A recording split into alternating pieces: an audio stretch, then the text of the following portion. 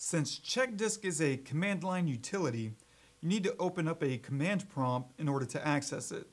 However, check disk is also going to require administrative access. So let's see how to do that.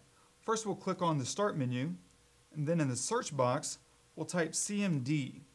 Now that'll show us the, uh, the program, the command prompt program, and we just need to right click on that and click Run as Administrator.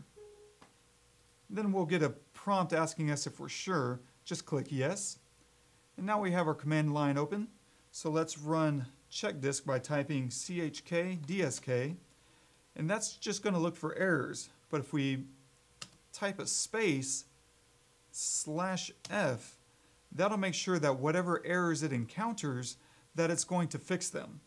But if that's not good enough and you want to run a check disk on a specific drive, we'll just type in the drive letter in a colon, then another space, slash F, and that way you'll check the D drive for any errors and then it'll fix them. So that's how you run a check disk.